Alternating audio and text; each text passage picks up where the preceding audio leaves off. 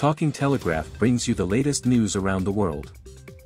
Tom Weiskopf's golfing prowess extended far beyond his 16 PGA Tour triumphs and one major title at Royal Troon in the British Open. He was consistently open, frequently blunt, and consistently correct when speaking on television. Even more so, he was successful at creating golf courses. At the age of 79, Weiskopf passed away on Saturday at his home in Big Sky, Montana, according to his wife. In December 2020, he received a pancreatic cancer diagnosis. According to Laurie Weiskopf, Tom was at the club at Spanish Peaks last week working on The Legacy, Tom's 10, a collection of his 10 favorite par 3 holes. He also attended a legacy luncheon there. He put in a lot of effort. It was incredible, she gushed. He had a big life. Weiskopf, an Ohio-born railroad worker's son, once remarked that he fell in love with the game even before he started playing. When his father brought him to the 1957 U.S. Open at Inverness, he was awestruck by Sam Snead's flawless contact. Andy North remarked on Sunday, you had supper with Tom and liked every minute of it.